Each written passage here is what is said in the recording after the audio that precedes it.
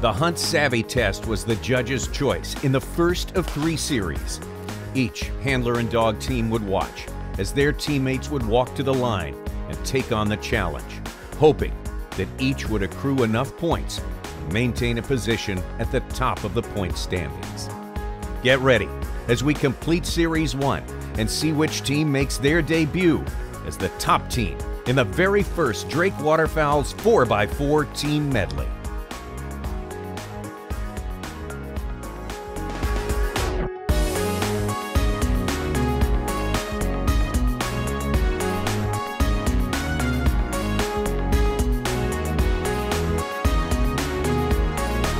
Uh, welcome. We are back again in Huntsville, Alabama. Thrilled, in fact, to be here in Huntsville. I'm Tommy Sanders, and of course, who best to provide the analysis in this great, great competition than one of the competitors themselves. And this week, it's Rody Best from Page, Texas, captain of Team Eukanuba's Best. Rody, thank you for being here today. We're into our third week of the Hunt Savvy Series competition. Get ready to catch our viewers up. Finish this Series 1. What do you think about it so far? Well, the judges did a very good job of setting this test up. They knew very well how to place the birds in positions that the dogs would not want to find them. Not only that, but you've got a couple other factors that, that make this test even more challenging. The visibility conditions. As you can see here from the map, these birds are varied from 144 yards out there to right in your face at 10 yards. It's a very difficult test to, uh, to do all around well. Briefly showed you the rules there, but the essence of it is this four handlers, four dogs on each team and no more than two of those team members can be pros. So that's the way it's worked so far. We take a look at our scoreboard. Our leaderboard so far, Team Tritronics is on top with a score of 28, but this is still uh, we've got plenty more teams that have not run yet, so that's just a snapshot of where we are at this point in time. And at this point in time, we are going to continue with the action. This is Team Loyal. Wes Wilkes and his dog Ranger Rody walk us through the marks coming out. Well, Ranger is, is seeing all these marks, which is a good thing. A lot of the dogs missed one of the marks or maybe two of them. It's obvious that, that Ranger's getting a good look at all these marks, and that sure helps. He's very steady on this, this breaking bird as well, too, sits there nice and calm and controlled. Well, so far so good, but it's very early on in this competition. The team makeup of Team Loyal. Well, we had team captain Joel Porter talk about that a little bit earlier. When we put our team together, we, we put a lot of uh, emphasis on seeing all three sides of it. We wanted to see dogs that had done all three. We wanted to see handlers that had done all three. And that's another thing that comes into play is the handlers. You know, you you have to be a handler at this game. You have to know when you to blow the whistles, when not to blow the whistles, when to handle, when not to handle, what side to work the dog from. And there's so much that goes into it. You know, split second decisions are made on the line that that handler has to do. So we really looked at our handlers as well and put together some handlers that, that we felt real confident in. We felt like they knew their dog, um, were great teammates. So, you know, I'd take the three I got with me um, and I'd go to war again with them. Well, while we heard from Joel there, of course, we saw Ranger pick up the wipeout bird, also that left hand bird. Everything successful so far, everything looking really good, and Ranger now uh, Rody on his way to that middle bird. Wes is very calm and controlled himself. I think the two of these are working very well together. And Ranger's on a very good line. Wes seems pretty confident that he knows where this bird is. We saw many dogs go out to this area, put on a big hunt, uh, but Ranger seems to know exactly where this bird is at. Well done. Success on the middle bird. Uh, next up, it's going to be uh, Mark 1, right? This is the right hand bird. Again, he seems to know exactly where he's going. It's like he put these birds out there himself and he's just going back out to pick them up. Good success for Wes Wilkes and Rangers so far. They are definitely on track. We're going to take you back to some earlier teams here Joel Porter and Jack, and the rest of this team loyal. Now, Jack starts out sitting here real calm and collective, seems to be under control. And then we see a slight misstep here where he almost comes off the platform. I think he actually did fall off. And that puts him in a dangerous situation for this wipeout bird because here it comes, and it's extremely tempting for the dog to want to go get it. Uh-oh. Nope. Mm, the damage is done at that point right there. That is a, that is a loss of control, most definitely. The score of zero for this team. Now, over to Brad Arrington and Chloe. Now, Chloe starts off on a good line for this bird, but she gets off to the right, and Brad has a hard time getting her back over. Again, a score of four for this team, so not good at all. Nathan Smith and Brody, the third team we're going to take a look at here. Now Brody's dog starts off with some trouble right in the beginning, and he has to handle all the way out there to that right bird. That was a pretty difficult blow. Yeah, tough going for Nathan Smith and Brody as well, so a team score of six. Back to Wes Wilkes and Ranger. Perfect so far, and we are getting going on the blind. Well, Wes definitely carried the team through this series. He did an outstanding job on an extremely difficult blind. It's a very narrow and tight blind, very difficult to finish, and I don't think Wes blew a whistle till the very end of the blind. Wes looks extremely calm up there. Minimum of handling so far, and that is the ideal situation. Very well done. Ranger definitely on track. His concentration was fantastic all through this. Uh, ditto for Wes Wilkes. So this team, the bright spot for Team Loyal. 20, of course, a perfect score, and that certainly helps the team in the overall standings. Team Loyal up on top. Coming up next, Team Eukanuba Sandhill and Captain Al Arthur already. Drake Waterfowl's 4x4 Team Medley is powered by Eukanuba. Huntsville Sports Commission, showcasing one of the South's greatest cities. Water Dog E-Clinics, the world's first 24-7, 365 dog training experience. And by Thunder Equipment. Uh, this is new and different. You have three teammates that are depending on you. Hopefully my three teammates will pick me up, but you know, human nature says you feel bad when you don't help your team out. When you get a zero, that means they have to carry you, and everyone likes to carry their fair share. Well, Mark and Girl, they did not do well. Girl, unsure of the direction, she struggled on the marks, leaving Mark frustrated and with a score of zero. With the sun peeking through the clouds and adding a glare directly into the eyes of retired history teacher Clint Joyner, his dog sister, Mark's teammates had an additional element to deal with, and marking became more difficult as each of the birds came out. Captain Al Arthur paced as if he was on the sidelines at a Georgia Bulldog game, unsure of his next play. Again, judges are looking for marking and memory. The faults added up on the left hand bird, where Clint had to battle the sun to see Sister and the direction she decided to take. Eventually, Clint would have to handle Sister to the area of the fall. Mark 2, the middle bird, would also be a challenge, but a good pickup on the right hand mark. The blind would be only fair.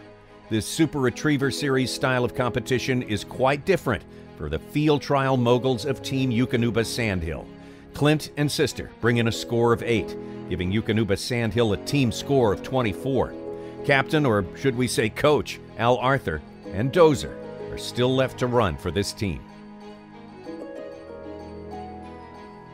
Team Bayer came to the line with the last of their flights, Chris Inman and Apache. With a team score of 16, they would have high hopes for a perfect score on this flight.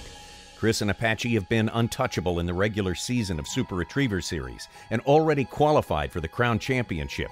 If the streak continues, their team should do well. Apache had wonderful memory on the marks until it came to the middle bird, where Chris had to handle to the area, therefore deducting from his team's high hopes of perfection.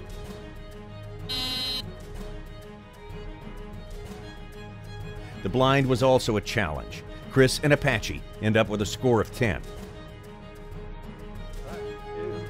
After the excitement from the run of Mark Land and Rose of Team Gaston Custom Calls, next up would bring to the line Sam and handler Alan Dillard.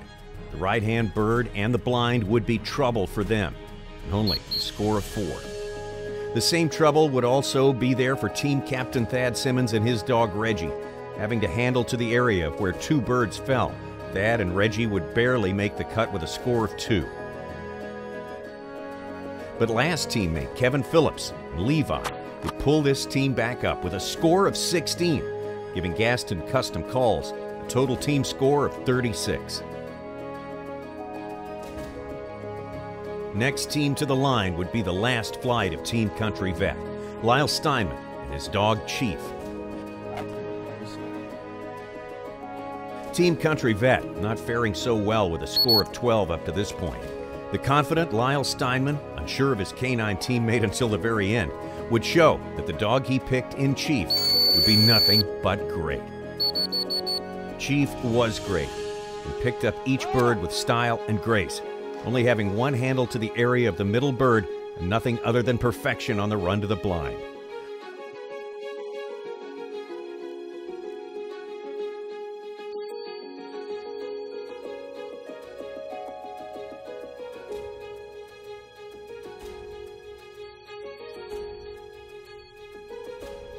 Lyle was pleased with Chief's performance and very pleased with a score of 18. Team Country Vet come away with a total score of 30.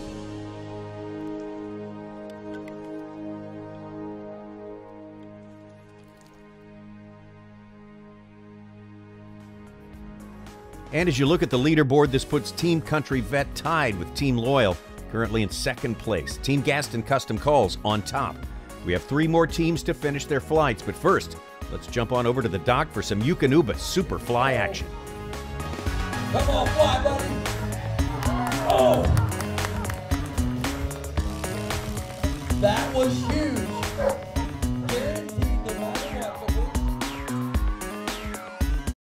We're back in the city of Huntsville, Alabama, a dog friendly town. Just listen to Ralph Stone of the Huntsville Sports Commission. Huntsville's a very dog friendly area and that's what makes the Super Retriever series so popular here.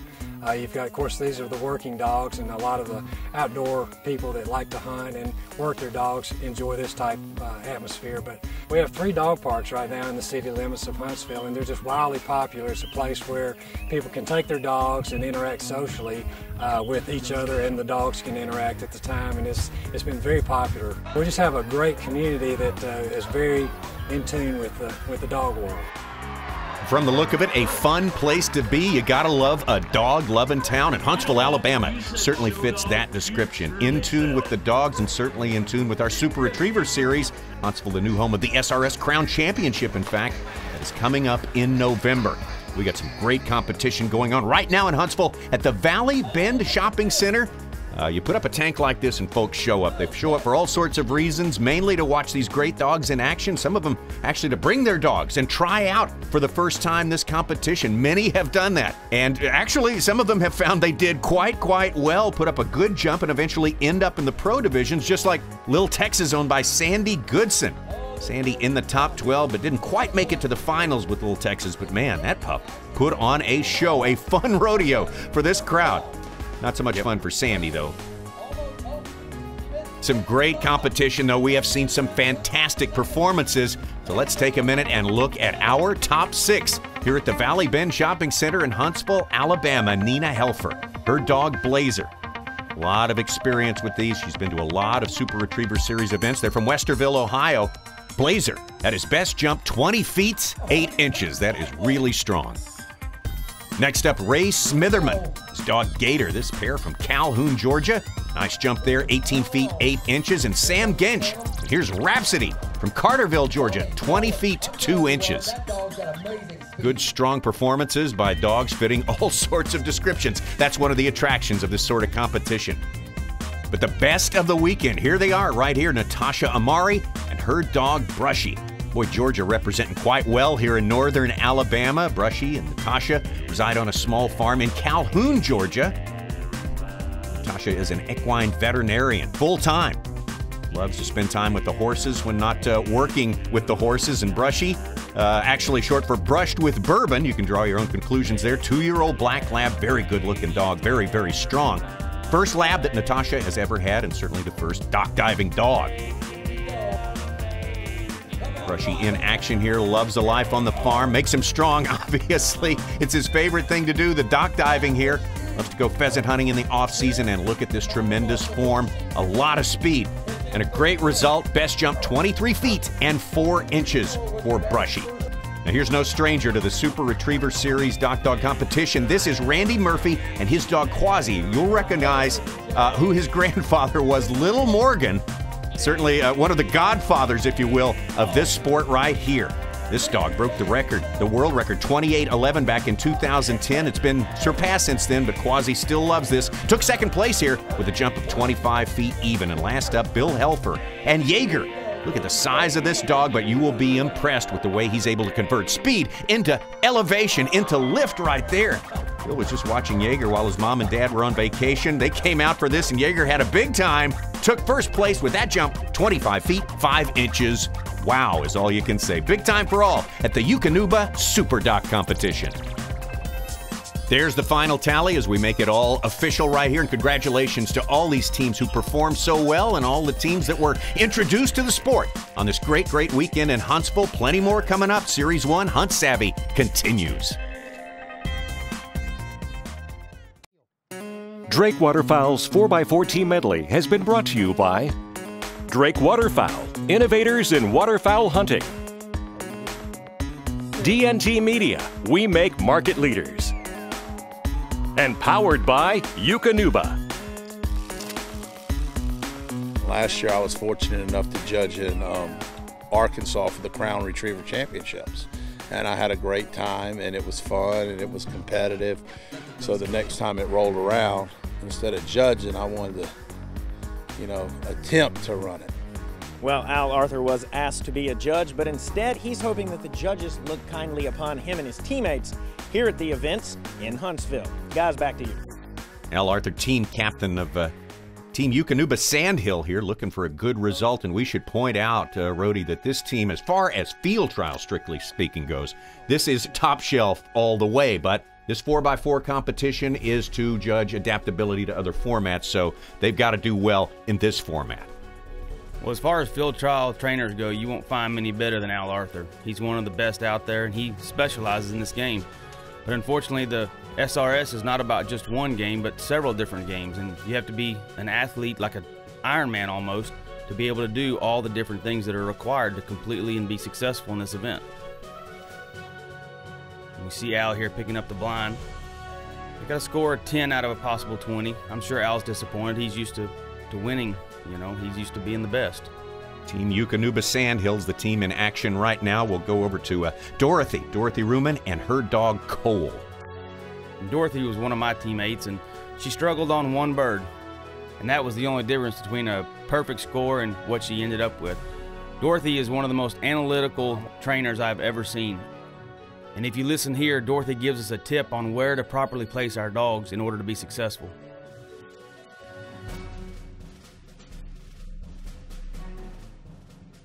Communication amongst the teammates. That is a new dimension for us here on the Super Retriever Series. Very interesting. Now to the line, Colby Williams, same team, and his dog Bobo. And I'd only met Colby a couple of days prior to this event. Unfortunately, we had a teammate that had to drop out, and we had to find a sudden replacement. And uh, I didn't know anything about Colby. I knew he was 21 years old and had a little experience handling some dogs. I was really impressed with his ability to, to be up there and be calm and controlled under a very tense situation. A lot was riding on this. He's having a little bit of trouble on this middle bird, having a handle to the area. And a score of 12 for Colby Williams and Bobo as we watch this next team into action here. Well, this is our man, Rody Best and Reed. Well, Reed struggled a little bit on this bird, made me nervous, and then worked it out. I don't think we got any point deductions on that bird. The key bird was the right bird, which you see here, and um, he was just a little left of the bird when he came out. Missed it by a few feet, and I ended up having to handle him over to it. It was very close, almost had it, almost had the perfect score, but just barely missed it. Well, what a great team effort overall by this uh, fantastic team. Eukanuba's best. Congratulations to you guys, Rody, because you had a tremendous score, taking the lead with a 52. Score for Rody and Reed was 14 in that effort right there. So some good work by Eukanuba's best. best. Team Tritronics, Mike Gibson and Shady coming to the line. Having to score high, the pressure is on this team. I've known Mike for a while, and him and Shady are a very, very good team. Very consistent. You can rely on both Mike to make good decisions and Shady to do her part as well. These are two very good teammates that work very well together. She looks like she, from here she gets a good look at all the birds. You can see how controlled he is. I mean, Mike doesn't look nervous at all. He's like it's Monday through Friday, being at work kind of day. And for an amateur, that's extremely impressive. The thing to remember about this is how long it takes for the dogs to get out there and pick up these marks. This series here took about 15 to 20 minutes per dog. And when you have that much swimming involved, the memory really becomes a factor. Does that dog remember after being tired and swimming that far? Does it really remember where that bird is? And we talked about not just the swimming, Rody, we talked about all that vegetation in there. Dog has to expend a tremendous amount of strength just to make it's not pure swimming. It's it's even more than that, isn't it? It is, and it looks like Shady was a little left on this bird. Mike had to put her back over. That's a handle to the area. Yeah, and you're right, Tommy. This is very difficult with that vegetation in there. The older dogs without with less endurance. Um, we've had several dogs with torn ACLs and knee repairs that are not quite up to 100%. This is tough swimming for them, and it puts a strain on their memory, uh, their their endurance. Everything is difficult to finish this thing.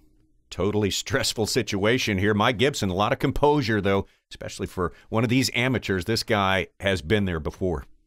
Yeah, and he's having a handle on another bird here. Um, Shady was a little left again. I think she was trying to stay in the water, trying to be a good dog. She stayed in the water a little too long, and Mike made the decision early, which I think was right decision to go ahead and get her up on land and get her over there to that bird before it gets too far gone. So she's got that bird, and she's coming back. Mike Gibson and Shady for Team Tritronics. And so a final total score of 16 for Mike Gibson and Shady. Kay Gentry and Bonnie's earlier effort, though, was absolutely stellar. A perfect score of 20 points. That really helped. Team Tritronics is also composed of J. Paul Jackson and Red, Bobby Wills, and Rip. The total team, 44 points for Team Tritronics. Our Drake's 4x4 team medley competition pushes on, and we are done with this part of the competition, and there's the final tally. Team Eukanuba's best. Congratulations, Rody. Good job there. On top as we move into the second phase of competition. Tritronics, Gaston Calls, Eukanuba Sandhill, Team Loyal, Country Vet, Team Bayer, Animal Health, all looking for a better result next time around. And the second part of this competition, Series 2, will be all about field trials. Should be some very, very interesting outcomes in that one. See you next time.